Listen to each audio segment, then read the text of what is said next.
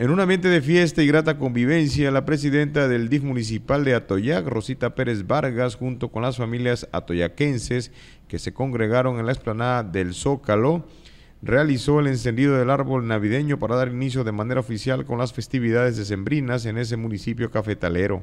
También se instaló en el acceso al DIF municipal el tradicional nacimiento.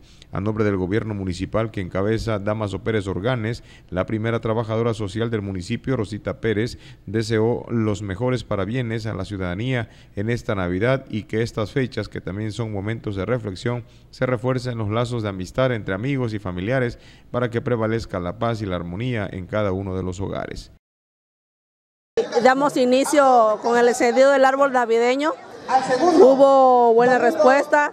Estamos dando inicio al mes de diciembre, mes de fiesta, mes de convivencia familiar, que estamos felices, que el gobierno municipal que encabeza el profesor Damaso Pérez Organes les desea un feliz, una feliz Navidad, un próspero año nuevo y decirles que para el presidente municipal es su prioridad la paz en el municipio. Decirles que, que estas fechas son muy importantes para la convivencia familiar y más que olvidarse de pleitos, olvidarse de todo el tipo de problemas, es un, un momento de reflexión para nuestras vidas.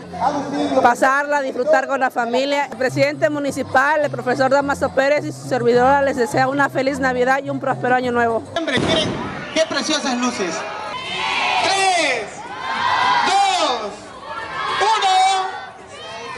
Adelante, la gran fiesta. La gran fiesta de todos los atoyaquenses, guerrerenses y mexicanos. Posteriormente, acompañada por la directora Ivette Yadira Gallegos Gómez, entregó aguinaldos y pelotas a los niños que asistieron a esta gran celebración junto con sus padres. Los alumnos de los talleres de guitarra y canto que se imparten en la Casa de la Cultura a cargo del profesor Agustín López Flores amenizaron esta fiesta.